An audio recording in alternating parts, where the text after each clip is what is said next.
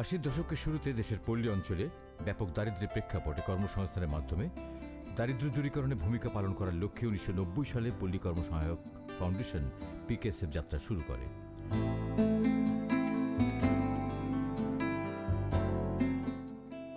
পল্লী জনগোষ্ঠীর জীবনযাত্রার মান উন্নয়নের লক্ষ্যে লাভের জন্য নয়, এই মূল মন্ত্রকে ধারণ করে ক্ষুদ্র ঋণের পাশাপাশি স্বাস্থ্য, শিক্ষা ও অন্যান্য মানবিক উন্নয়নে দারিদ্র্য দূরীকরণের জন্য নানা ধরনের নিরাপত্তা বেষ্টনী সহ জীবনযাত্রা পরিবর্তন আনয়ন করেছে। ভিন্ন ভিন্ন কর্মসূচি দরিদ্র দূরীকরণে পিকেএসএফ নতুন মাত্রা এনেছে।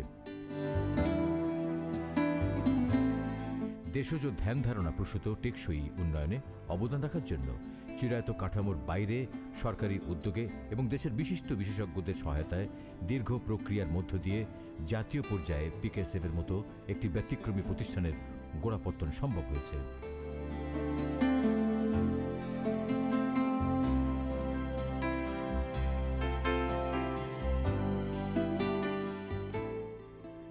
পিকেএসএফের প্রতিষ্ঠা লগ্নে বিশ্বের অন্য কোথাও এ ধরনের প্রতিষ্ঠান ছিল না।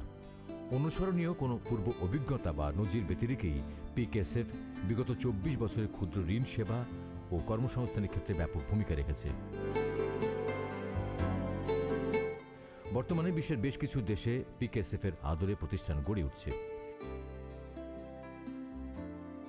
মাত্র তেইশটি সহযোগী সংস্থার এক হাজার বারো জন উদ্যোক্তাকে সহযোগিতা প্রদানের মাধ্যমে যাত্রা শুরু করলেও বর্তমানে পিকেএসএফ সারা দেশের প্রতিটি উপজেলায় দুই শতর অধিক সহযোগী সংস্থা প্রায় ছ হাজার ছশো উনিশটি শাখার মাধ্যমে আশি লাখ অষ্টাশি হাজার চারশো বিরাশি জন উদ্যোক্তার মাঝে আর্থিক ও সামাজিক সেবা পৌঁছে দিচ্ছে।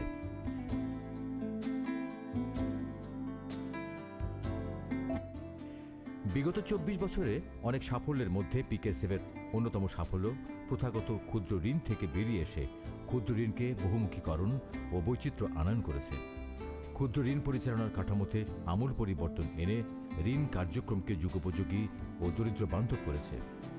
গ্রামাঞ্চলে কাজ শুরু করলেও পরবর্তীতে শহর বিভিন্ন উৎপাদন ও সেবামূলক কর্মসংস্থানের জন্যও অর্থ যোগানে সহযোগিতা সংস্থাগুলোর মাধ্যমে বিশেষ অবদান রাখছে।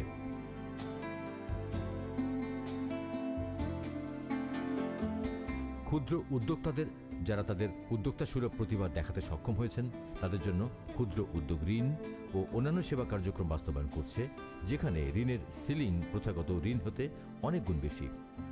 ক্ষুদ্র উদ্যোগ ঋণ ও সংশ্লিষ্ট সেবা কার্যক্রম বাস্তবায়নের জন্য বিভিন্ন উদ্যোগের গুচ্ছগুলো বের করা হয়েছে। ক্ষুদ্র উদ্যোক্তাদের পণ্য সামগ্রীর মানোন্নয়নের জন্য নানাবিধ ব্যবসা উন্নয়ন বিষয়ক কর্মকাণ্ড বাস্তবায়িত হচ্ছে। পিকেএসএফ কাজের ধারাবাহিকতা রক্ষায় বিভিন্ন কার্যক্রম সফলভাবে সম্পন্ন করেছে। চব্বিশ বছর শেষে এবছরে পঁচিশ বছরের পদার্পণে পিকেএসএফ বর্ষব্যাপী রজত জয়ন্তী উদযাপন করছে। এই প্রেক্ষিতে এগারোই মে দু হাজার চোদ্দ তারিখে বঙ্গবন্ধু আন্তর্জাতিক সম্মেলন কেন্দ্রে রজত জয়ন্তী উদযাপনের উদ্বোধনী অনুষ্ঠানের আয়োজন করে। অনুষ্ঠানের প্রধান অতিথি আসন অলঙ্কৃত করেন গণপ্রজাতন্ত্রী বাংলাদেশ সরকারের মাননীয় অর্থমন্ত্রী জনাব আবুল মাল আব্দুল মহিদ এমপি। বিশেষ অতিথির আসন অলঙ্কৃত করেন গণপ্রজাতন্ত্রী বাংলাদেশ সরকারের প্রাথমিক ও গণশিক্ষা মন্ত্রণালয়ের মাননীয় মন্ত্রী অ্যাডভোকেট মোস্তাফিজুর রহমান এমপি। অনুষ্ঠানে সভাপতিত্ব করেন পিকেএসএফের পরিচালনা পর্ষদের সভাপতি, দেশের বিশিষ্ট অর্থনীতিবিদ ডক্টর কাজী খলিকুজ্জামান আহমেদ। অনুষ্ঠানে অংশগ্রহণের জন্য সারা দেশ থেকে পিকেএসএফ এর সহযোগী সংস্থা হিসেবে কাজ করছে এমন সকল সংস্থার নির্বাহী প্রধান ও মাঠ পর্যায়ের কর্মীরা উপস্থিত হয়েছিলেন এই আয়োজনে। সারাদিনব্যাপী আয়োজিত এই অনুষ্ঠানটি দুই ভাগে সম্পন্ন হয়। অনুষ্ঠানের সূচনা বক্তব্যে বিগত বছরের সাফল্য তুলে ধরে বক্তব্য রাখেন পিকেএসএফ এর সম্মানিত চেয়ারম্যান, দেশের প্রখ্যাত অর্থনীতিবিদ, আন্তর্জাতিক খ্যাতিসম্পন্ন পরিবেশ বিজ্ঞানী ডক্টর কাজী খলিকুজ্জামান আহমদ। কৃষির উপরে জোর দেওয়া হয়েছে, কর্মসংস্থানের উপর জোর দেওয়া হয়েছে নিরাপত্তা বেষ্টনীর উপর জোর দেওয়া হয়েছে। নিরাপত্তা বেষ্টনীতে মানুষ আসার মতো মানুষ যত কম হবে, তত আমরা অগ্রগতি হব। আমরা যত লোককে আমরা নিরাপত্তা বেষ্টনী থেকে বের করে আনতে পারব, ততই আমাদের অগ্রগতি হবে। কাজে এই যে জোরগুলো দেওয়া হচ্ছে, আমি মনে করি সেগুলো অব্যাহত শুধু থাকবে না, সেগুলো আরও জোরদার করা হবে এবং উন্নয়নকে, মানুষকে কেন্দ্র করে বিবেচনা করা হবে। কোনো শিল্প প্রতিষ্ঠান বা কোনো বড় ব্যক্তি বা কোনো শিল্পপতি বা কোনো অর্থনীতিবিদ বা কেউ কাউকে কেন্দ্র করে নয়। করতে হবে মানুষকে কেন্দ্র করে। কারণ সারা বিশ্বে এখন পঁচাশি জন ব্যক্তি, সাড়ে তিন বিলিয়ন মানুষের সমান সম্পদ তাদের হাতে, সারা বিশ্বে। বাংলাদেশে অত খারাপ না, কিন্তু খারাপের দিকে যাওয়া অসম্ভব নয়। কাজে আমাদেরকে আগে থেকে সতর্ক হতে হবে। যদিও গত তিন চার বছরে আমরা যে অর্থনীতিবিদরা যেভাবে মাপি বৈষম্য, সেই মাপ অনুযায়ী কিছুটা হলেও কমেছে বৈষম্য। কিন্তু আমরা যদি বাস্তব গ্রামগঞ্জে যাই, কিছু মানুষ সাংঘাতিকভাবে দারিদ্র্যের কবলে রয়ে গেছে এবং বৈষম্যের কবলে রয়ে গেছে। সুতরাং আমাদের ওই জায়গাগুলো চিহ্নিত করে আগামী দুই হাজার পনেরো সালের পর থেকে যে উন্নয়ন প্রক্রিয়া শুরু হবে, আমরা সহস্রাব্দ উন্নয়ন লক্ষ্য শেষ করছি এবং অন্যান্য অনেক প্রোগ্রাম আছে। কারণ ওইটা তো তেমন গুরুত্ব নাও দিতে পারি আমি। কিন্তু আমাদের যে উন্নয়ন পরিকল্পনা, দেশের সেই উন্নয়ন পরিকল্পনাকে আমাদেরকে এগিয়ে নিয়ে যেতে হবে যাতে দুই হাজার ত্রিশ সালের মধ্যে দারিদ্র নির্মূল করা যায়। আর মধ্যম আয়ের দেশ থেকে আমি যেটা মনে করি দরকার, মধ্যম জীবন মানের দেশ হওয়া উচিত। মধ্য আয়ের দেশ এটা তো ঠাকার অঙ্কে জীবনমান যেরকম আছে সেই রকমই থাকতে পারে, আমরা মধ্য আয়ে পৌঁছে গেলেও। কাজে আমাদেরকে পৌঁছতে হবে মধ্যম জীবনমানের দেশ এবং সেটা কয়েক ব্যক্তির না, সবার। সেই জায়গায় যখন যাব তখন আমি মনে করব যে আমরা একটা স্থিতিশীল অবস্থায় এসেছি এবং টেকসই অবস্থায় আমরা এগিয়ে যেতে পারব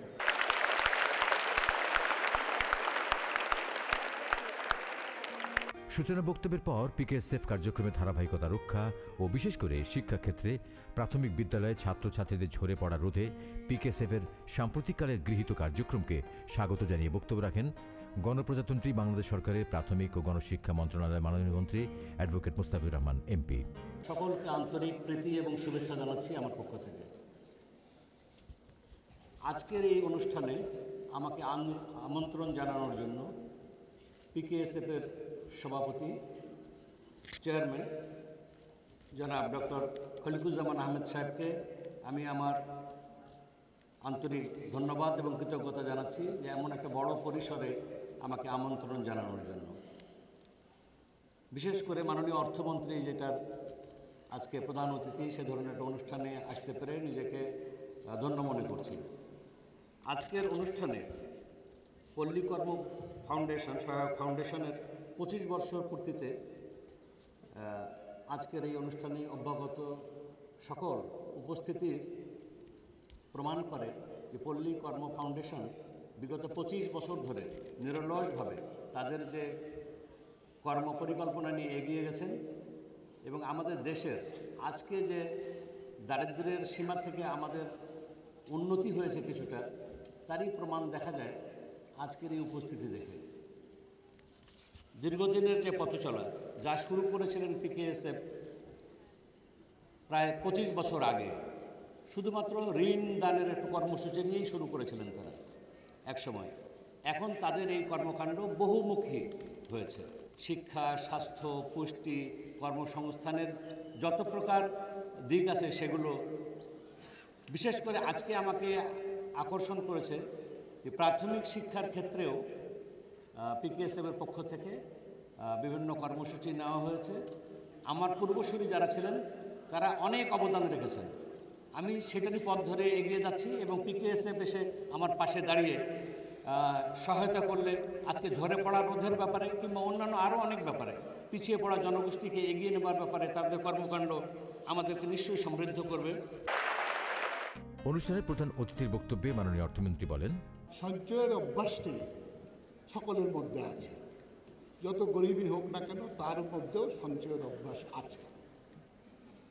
এই সঞ্চয়টাকে সদ্ব্যবহার করার জন্যে আমাদের ব্যাংকিং সিস্টেম আর্থিক ব্যবস্থা। এবং আমরা অনেক আগের থেকেই জানি যে ক্ষুদ্র ঋণ যদি কেউ পায়, তাহলেই সেটা ভাগ্য পরিবর্তনে সচেষ্ট হয় এটা নতুন কিছু নয়। অন্ততপক্ষে এই দেশে প্রাতিষ্ঠানিকভাবে ক্ষুদ্র ঋণের বিকাশ হচ্ছে প্রায় দুইশো বছর।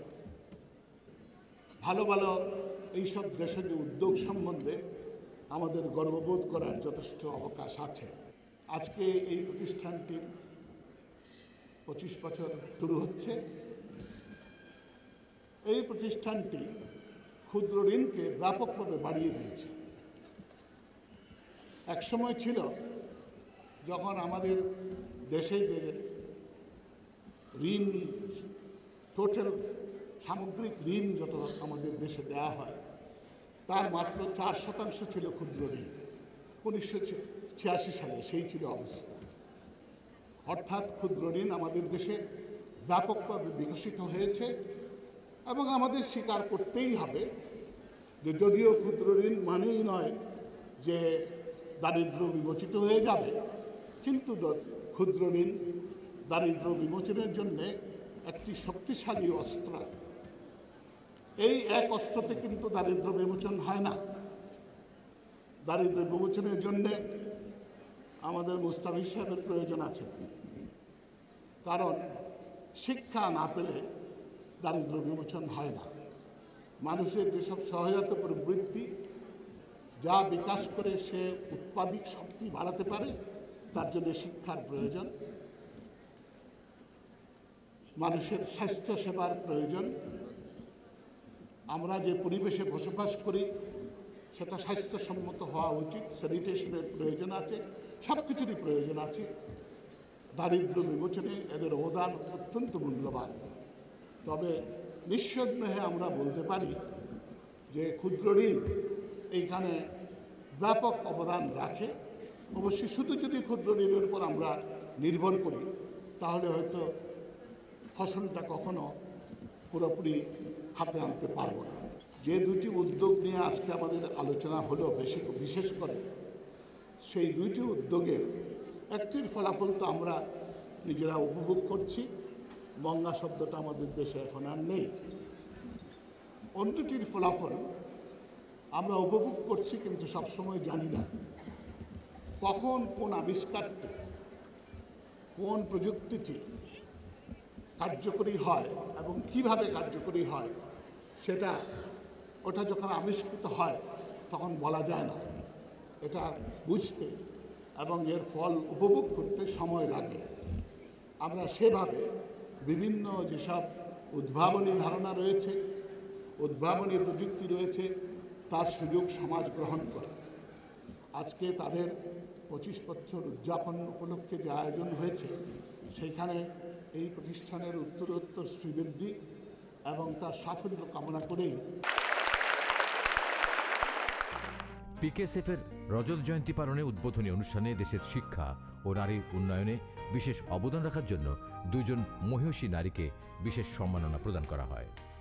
মুক্ত চিন্তার অধিকারী অধ্যাপক লতিফা আকন্ত নিভৃতভাবে সারা জীবন নারী মুক্তি ও নারী শিক্ষায় ভূমিকা রেখেছেন। শিশুদের জন্য অধ্যাপক লতিফা আকন্ত বাংলাদেশ শিশু প্রতিপালন কেন্দ্র নামে একটি প্রতিষ্ঠান দীর্ঘ আঠারো বছর পরিচালনা করেন। আমি মনে করি এই যে একটা এই যে একটা সুযোগ পাওয়া, মানুষের একটা ব্যক্তিত্বকে প্রতিষ্ঠিত করার একটা চেষ্টা, সেটা কিন্তু এনারা করেছেন। এবং এইরকম করাতে আমি নিজেকে একটা মানুষ ভাবছি, নিজেকে একটা আমার একটা আইডেন্টিটি আমার একটা পরিচয় আমি পাচ্ছি যে হ্যাঁ আমারও কোথায় দরকার আছে। আমি যে বেঁচে আছি অষ্টআশি প্লাস অষ্টআশি হয়ে গেছে এবং তারপরে প্লাস চলছে। সো এই বাচ্চাটা অনেকে হয়তো বাঁচতে পারবেন না পর্যন্ত যদি না চেষ্টা থাকে। একটা নিজের একটা মানসিক দুর্বলতা কাটিয়ে একটা চেষ্টা থাকতে হবে যে আমি পৃথিবীতে অবস্থান করছি এবং পৃথিবী আমাকে চায়। অধ্যাপক জাহানারা হক নারী উন্নয়নে নিবিড়ভাবে কাজ করে যাচ্ছেন। অধ্যাপক জাহানারা হকের বিভিন্ন বিষয়ের উপর গবেষণা, মৌলিক প্রবন্ধ এবং সম্পাদিত পঞ্চাশটিরও বেশি প্রকাশনা রয়েছে। যার মধ্যে উল্লেখযোগ্য সংখ্যক হচ্ছে নারী উন্নয়ন সংক্রান্ত বিষয়ের উপর। বর্তমানে তিনি জাতীয় মহিলা কার্যক্রম প্রণয়ন এবং বাস্তবায়ন সমিতির সভাপতির দায়িত্ব পালন করছেন। আমি আজকে অত্যন্ত আনন্দিত এবং তৃপ্ত।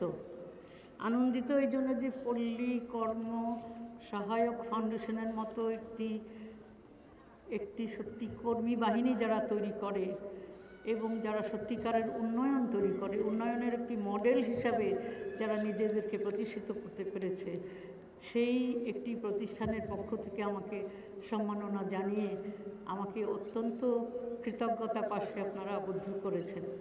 এজন্য আমি তাদের সকলকে আন্তরিক ধন্যবাদ এবং কৃতজ্ঞতা প্রকাশ করছি।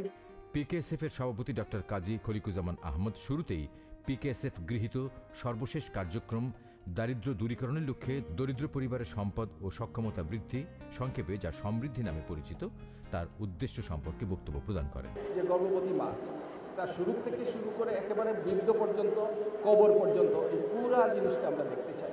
যে জন্মের আগে মায়ের সেবা পরে মায়ের সেবা, বাচ্চার সেবা, তারপরে যখন বড় হচ্ছে তার পড়াশোনা, তারপরে তার প্রশিক্ষণ, তারপরে তার কর্মসংস্থান, তারপরে যখন বয়স্ক হয়ে যাবে, বয়স হয়ে যাবে, কাজ করতে পারবেন না, তখন তার সেবা, এই সবগুলোকে আমরা একই আঙ্গিকের মধ্যে দেখতে চাই। সমৃদ্ধি সেটা লক্ষ্য। মানুষকে সেই আসনে আমরা দেখতে চাই। তার মর্যাদা সেটাই হবে যে একেবারে জন্মের আগের থেকে শুরু করে মৃত্যু পর্যন্ত একজন ব্যক্তি যার, তার যে প্রাপ্য সম্মান তিনি সেটা তার হয়তো খুব সচ্ছলতা আসতে নাও পারে, কিন্তু সম্মানটা পাবে। তার যে অধিকার, সেই অধিকারগুলো তিনি পাবেন। তার যে ন্যায্য পাওনা, সেটা তিনি পাবেন। সেটা যখন আমরা নিশ্চিত করতে পারব, তখন এই দেশ, সবারই জানা আছে যে আমরা মুক্তিযুদ্ধ করে এই দেশটা অর্জন করেছি। মুক্তিযুদ্ধের চেতনাটা আমার কাছে হচ্ছে এই যে প্রত্যেক মানুষ একটি জায়গায় যাবে, তার সব মানবাধিকার প্রতিষ্ঠিত হবে। তার মানব মর্যাদা, তার সম্মান, সেটা প্রতিষ্ঠিত হবে। কিন্তু সেটা দূরের ব্যাপার, কিন্তু সেই পথে আমাদেরকে এগিয়ে যেতে হবে।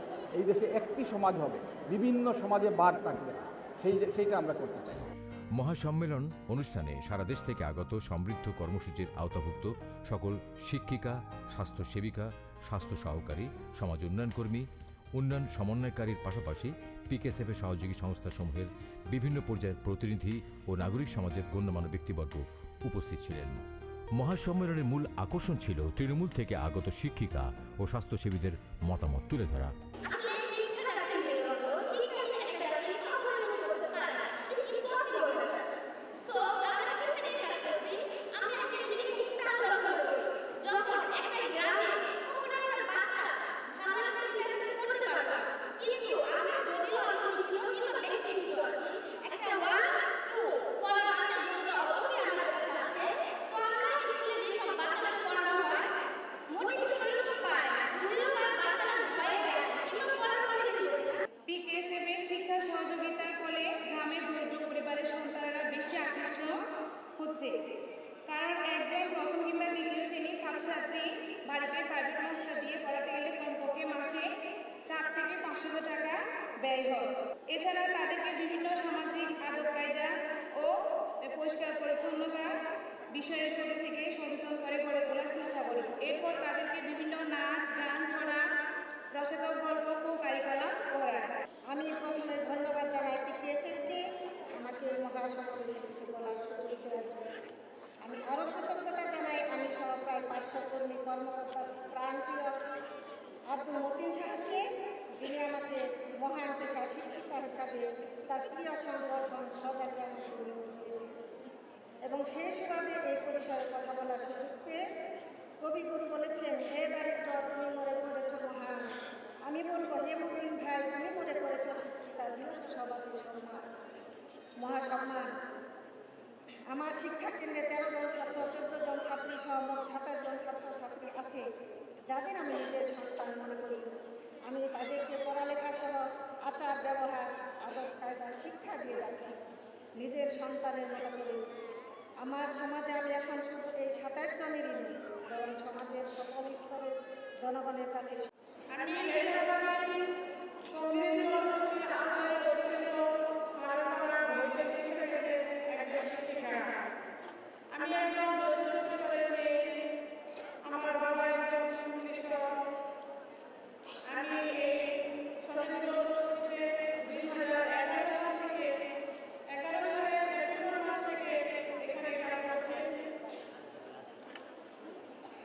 তার আগে লেখাপড়া পরিচালনার জন্য আমার বাবা খুব কষ্ট হতো আমার বাবা খুব করতো আমার মেয়ের অনেক খরচের দরকার হয় লেখাপড়ার জন্য চালাতে পারতো না এই জন্য খুবই দুঃখ প্রকাশ করতো কিন্তু তারপরে যখন থেকে আমি সমৃদ্ধ কর্মসূচিতে শিক্ষা কার্যক্রম কার্যক্রমে নিয়োজিত হয়েছে তখন থেকে আমার বাবার এই দুঃখটা মুছে গেছে পিকেএসএফের বহুমুখী কার্যক্রমের ফলে দেশের দারিদ্র দূরীকরণে সহায়ক হলেও বাস্তবতার আলোকে দেখা যায় যে দীর্ঘমেয়াদী টেকসই দারিদ্র দূরীকরণ ও উন্নয়নের জন্য শুধু আর্থিক সেবাই না, তার সাথে যুক্ত করতে হয় স্বাস্থ্য, পুষ্টি, শিক্ষা, প্রশিক্ষণ, অবকাঠামো অর্থায়ন সহ দরিদ্র মানুষের জীবন ও জীবিকা সংশ্লিষ্ট অন্যান্য বিষয়গুলো।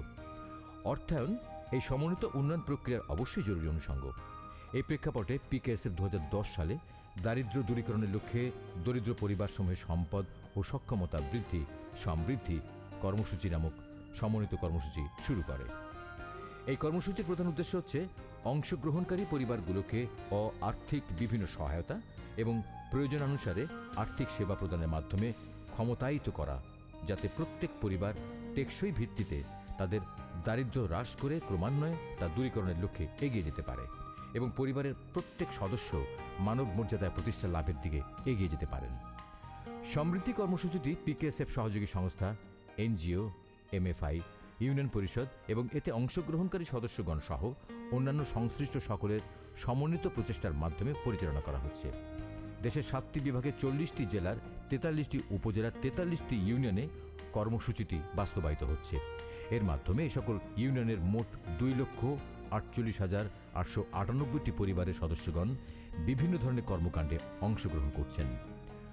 সমৃদ্ধি কর্মসূচির আওতায় গৃহীত কার্যক্রমসমূহের মধ্যে উল্লেখযোগ্য হচ্ছে স্বাস্থ্যসেবা, শিক্ষা কমিউনিটি ভিত্তিক ছোট ছোট অবকাঠামো উন্নয়ন, স্যানিটেশন, বন্ধুচোলা, সোলার, হোম সিস্টেম, কারিগরি ও বৃত্তিমূলক প্রশিক্ষণ, সবজি চাষ ওষুধি কাজ, চাষাবাদ প্রভৃতি।